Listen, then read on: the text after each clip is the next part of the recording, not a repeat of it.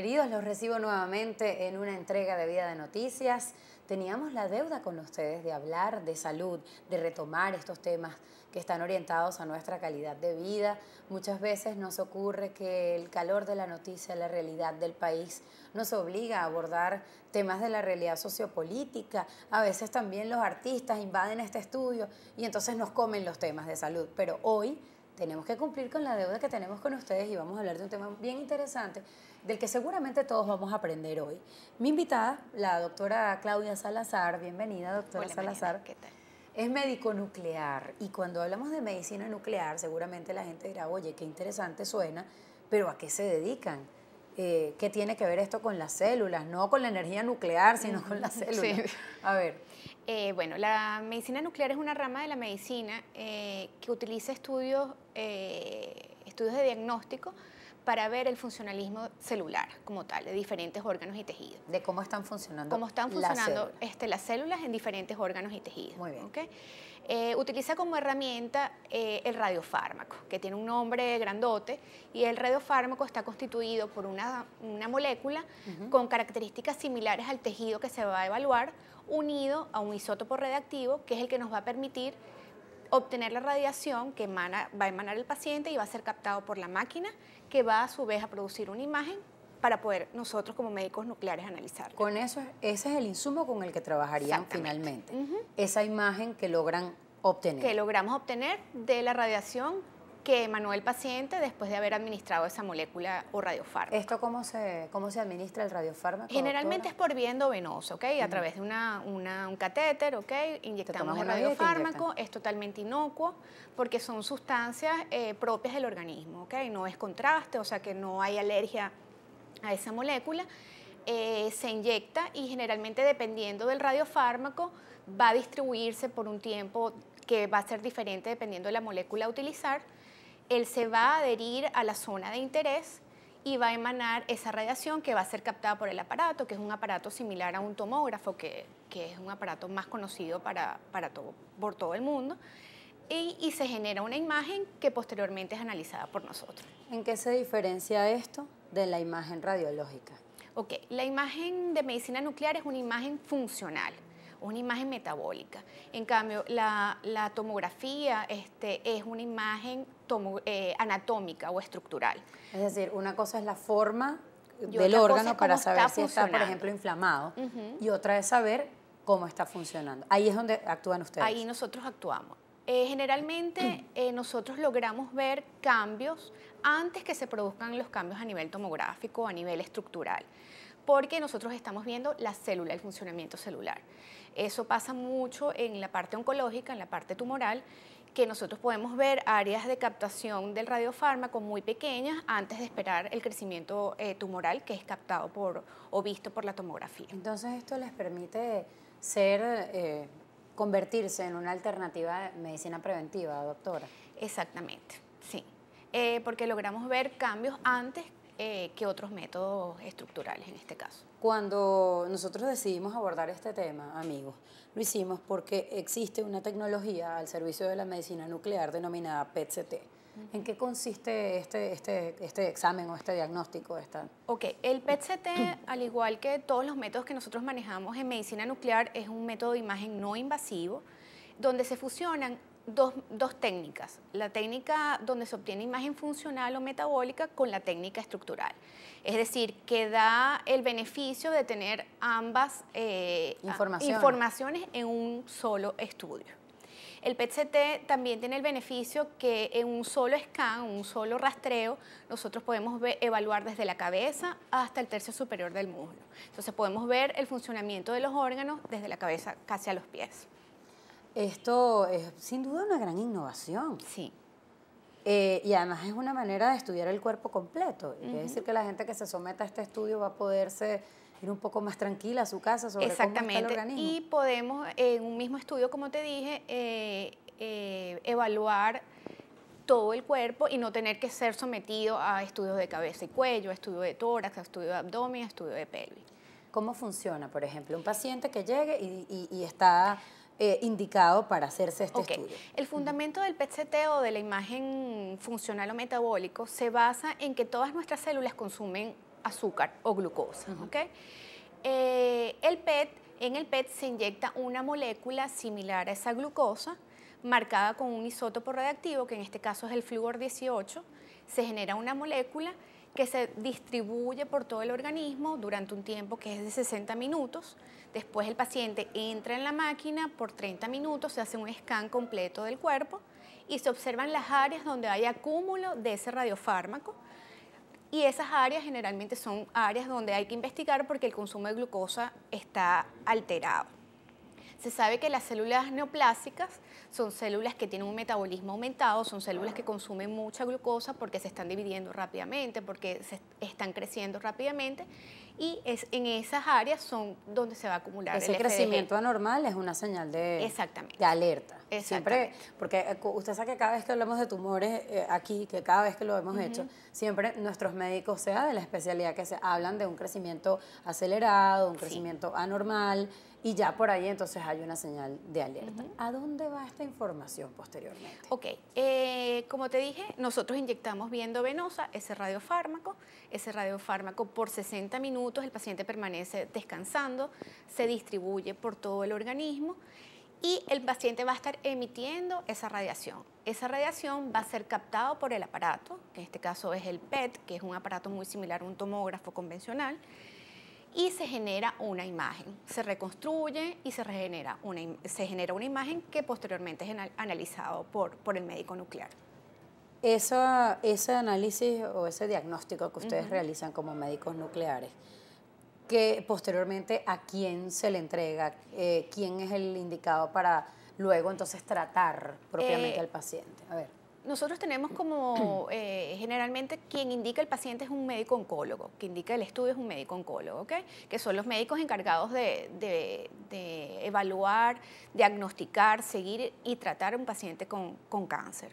Generalmente ellos son los que más solicitan el estudio, pero también médicos cirujanos, porque el PET-CT se utiliza tanto para diagnóstico, eh, como para estadiar, es decir, eh, hacer una evaluación completa del cuerpo, ver en qué áreas está esa, eh, el cáncer como tal, después seguir, evaluar la respuesta al tratamiento y seguir a ese paciente a lo largo del tiempo. el comportamiento invasivo, por ejemplo, de un, de, un, de un cáncer, de un tumor, podría ser evaluado de esta manera para saber si hay una fase ya Claro, eso es lo que uno habla de un estadio completo, ¿no?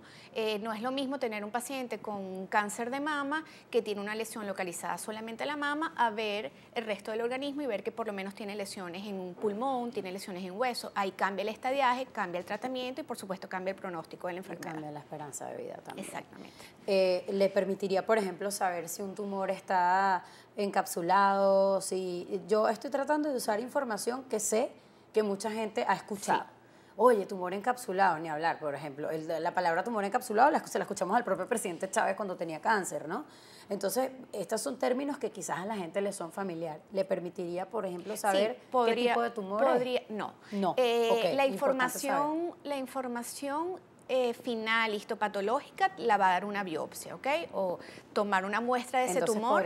Nosotros podemos dirigir una investigación, pero no sustituye una no Sustituye una biopsia. Muy importante que quede claro, porque si no lo aclaramos, de repente la gente dice, viste, ya no son necesarias las biopsias. Y no es cierto. No, no es cierto. No es cierto. No es una tecnología sustituta. Es otro tipo de información. Es otro tipo de información. Ustedes allí en el CD de las Mercedes disponen de esta tecnología para atender a los pacientes. ¿En Venezuela son los únicos? En Venezuela existen otros centros eh, que en la actualidad eh, han presentado algunos inconvenientes y están eh, parados, ¿okay? están, no están prestando servicio. Nosotros en las Mercedes tenemos, poseemos el ciclotrón, que es el, es el acelerador de partículas donde se produce ese isótopo radiactivo que te comenté, que es el flúor 18, que se une al, a la glucosa y nosotros sintetizamos todo en casa para ofrecerlo al paciente, a nuestros pacientes y también a otros centros si es, necesario. Eso, ¿qué quiere decir? Que hay disponibilidad, es decir, que no están enfrentando pues este, estas grandes difucultades que quizás... No estamos enfrentando las dificultades porque eh, la clínica se ha ocupado de, de, tener todos los insumos, que son insumos que vienen de, de fuera, ¿no?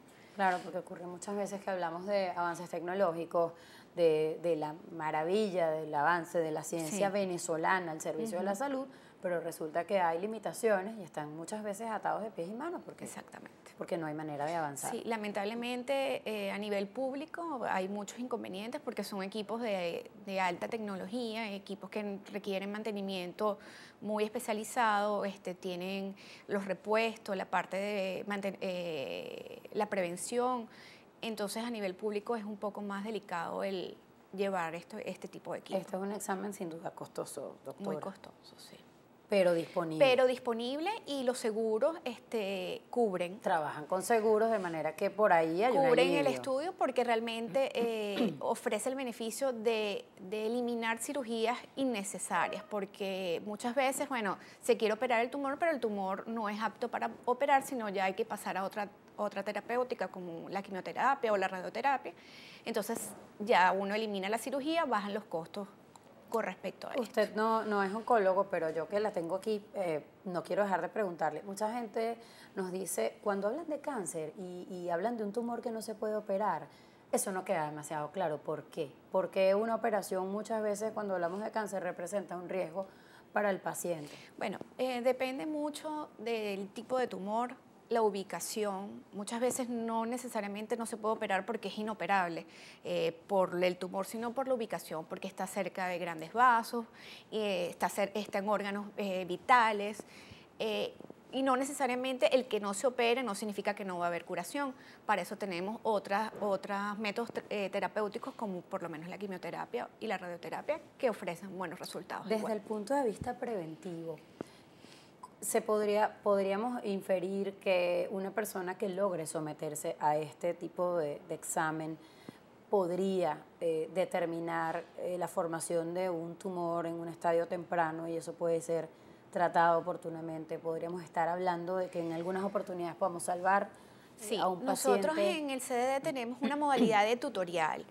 Eh, el tutorial, claro, la parte del CITIPET uno lo recomienda para pacientes que tienen un antecedente familiar bien, eh, bien fuerte de cáncer, ¿ok? Eh, pacientes con algo en la clínica que te pueda guiar a que haya algún un proceso eh, neoplásico que está en curso, a esos pacientes nosotros les recomendamos el PET-CT.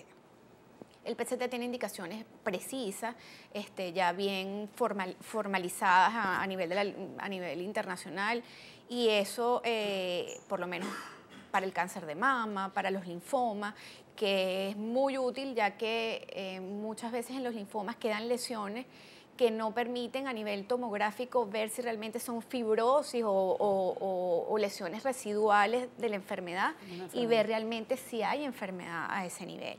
Entonces los linfomas es muy utilizado para el cáncer de mama también, cáncer de pulmón, los melanomas, que son las lesiones, los lunares en piel que son malignos. Entonces hay indicaciones formales bien establecidas para el uso del PET-CT.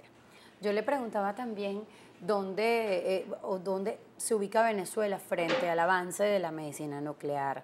Entiendo que ya es posible estudiarlo en Venezuela, eh, ustedes muchos han hecho estudios fuera, pero ¿cómo está Venezuela frente a todo este tema? Yo creo que Venezuela está eh, bien a la vanguardia de, en esta área. Eh, tenemos equipos de primera, somos pioneros en América Latina con el PET-CT. el CDD fue pionero. Nosotros estamos haciendo aproximadamente entre 20 y 30 pacientes día, okay, que, es un, que, no, que habla de una experiencia bastante robusta en, en el área. Yo creo que Venezuela, a pesar de todas las limitaciones que hemos tenido eh, meses anteriores con respecto a la entrada de divisas y, la obtención de insumos, yo creo que estamos muy, muy bien parados eh, cuando comparamos con el resto de, nuestro continente. Tienen un equipo multidisciplinario eh, allí Mucha gente también cuestiona que me voy a hacer el examen en un sitio, pero entonces luego tengo que ir a otro lado para que sea interpretado ese examen, pero entonces después me mandan a otro médico. Y tiene el paciente que someterse a un periplo tortuoso, de angustias, porque mientras vas de un médico a otro, entonces todavía no sabes lo que tiene tienen allí la disponibilidad para hacer un estudio integral del paciente. Un equipo multidisciplinar eh, conformado por el nuclear, médico radiólogo, hay oncólogos y hay cirujanos que podrían eh, llevar eh, en el camino al paciente oncológico en este caso. Porque ocurre mucho, sobre todo en el ámbito público, que la gente es sometida a todas estas una cantidad de, entrevistas médicas, de, consultas médicas, que además tiene, si va al ámbito privado, tiene que pagarlas en sitios diferentes. Entonces es como, muy, es como muy difícil. ¿Qué es lo más recomendable para una persona que sospecha puede tener un problema de salud grave. Ir al internista, por ejemplo. Sí, eh, lo ideal es primero consultar a un médico general o un internista en este caso y él va a ser como el que va a dirigir la orquesta y va a enviar al paciente dependiendo de cuál es la sintomatología, qué clínica presenta, va a dirigirlo al especialista como tal. Yo creo que siempre hay que tener como un médico de orquesta que dirija todo el, todo el camino que, a seguir del paciente, porque muchas veces ahí se dispersa mucho, el paciente busca opinión acá o busca opinión allá y es tratado por muchos médicos, pero no hay ninguno que, que haga como la dirección completa y, lleve al paciente al, al, final feliz, al buen camino. Más allá de las formaciones eh, tumorales, doctora, la medicina nuclear puede eh, servir para algún otro diagnóstico, como por ejemplo de los de los mm, temas cardiovasculares. Claro, eh, nosotros tenemos el, el SPEC de perfusión miocárdica o el gamagrama de perfusión, gamagrama de perfusión miocárdica, que evalúa también la el eh, funcionamiento de la célula miocárdica. permite observar las paredes del corazón, ver cómo están funcionando las paredes del corazón y ver si hay algún signo indirecto de obstrucción arterial. Sabemos que las arterias... Es muy importante lo que decir. Sí. Y son métodos no invasivos. Eh, nosotros no sometemos al paciente a un cateterismo como tal, sino que indirectamente podemos observar si hay alguna obstrucción y posteriormente eh, hacer una técnica invasiva. Porque la primera causa de muerte en este momento en el ámbito mundial está asociada a la parte cardiovascular, a las enfermedades cardiovasculares y muchas asociadas al síndrome metabólico, la obesidad mórbida, etcétera, el consumo de azúcar discriminado. Eh, sí, nosotros este, junto con las otras modalidades este, cardiológicas como la resonancia, la parte de ecografía, nosotros tenemos un buen equipo en el, en el CDD que abarca toda la evaluación del paciente en el ámbito cardiológico. Es decir, y ya con esto tenemos que cerrar la entrevista, quien, quien se descuida, doctora, es porque quiere. Exactamente, quien se descuida es porque quiere. Realmente Venezuela hasta ahora eh, nos caracterizamos por tener médicos de primera y tecnología de primera, claro, con algunas limitaciones, pero realmente todavía podemos este, decir que, que, somos un país eh, pionero y con avances en todos los sentidos en la parte médica. salvar la vida de un paciente. Mucho se habla de que estas enfermedades son todas silenciosas, ¿no? De, de, lo difícil que es que tú te enteres que tienes una obstrucción arterial o que tienes un tumor en formación. Hay tecnología para eso. Qué, qué, qué sencillo es poder decirlo así y divulgarlo pero qué oportuno sería que esto se convierta además en un tema de salud pública y que la gente sepa que existe esa tecnología para salvar su vida. Exactamente. Muchísimas gracias, doctora Salazar, por acompañarnos. A ustedes. a ustedes por preferirnos ser quienes tengamos la responsabilidad, la hermosa responsabilidad de servirles y acompañarles. Infinitas gracias por estar allí.